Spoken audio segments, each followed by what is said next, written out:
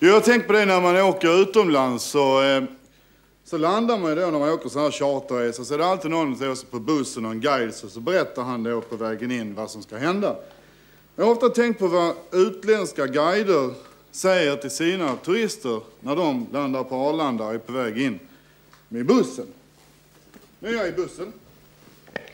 Horst längst bak i bussen? Ja. Hejsan hejsan allesammans. Jag heter Jorge och jag är platschef här i e Stockholm för siestaresor. Ni ska vara hjärtligt välkomna allesammans. Hoppas ni får en trevlig vistelse i e Estocolmo. Jag ska berätta lite om våran programmet. Ja. Först ska vi åka till inkvarteringen och de flesta av er ska bo i Playa del Tensta. I Playa del Tensta.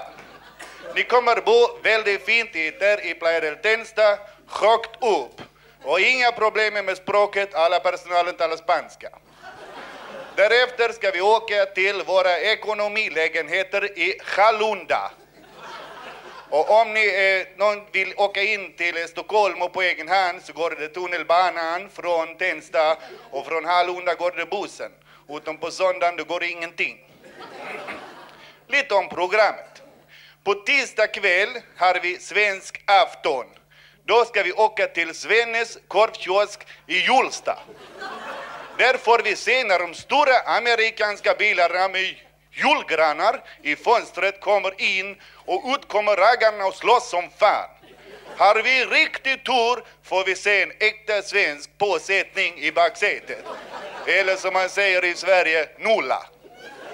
Därefter, vi käkar riktig svensk måltid, två kokta med bröd och en puko. Sen har vi på onsdag kväll, nattklubbskväll, när vi åker med bussen, samma buss som den här, första längst bak. Ja? Ja, vi åker med bussen in till restaurang El Sombrero, där vi äter paella, dricker spanskt lantvin och dansar flamenco. Det kostar 1200 kronor extra. På fredag förmiddag har vi avsatt för shopping. Då åker vi till Sergels torg där vi handlar direkt av unga egna företagare.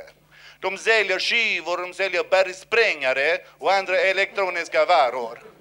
Och är det någonting de inte har, var inte redo att fråga. De springer direkt och hämtar på stora lagret Åhléns och kommer direkt. Glöm inte att prata.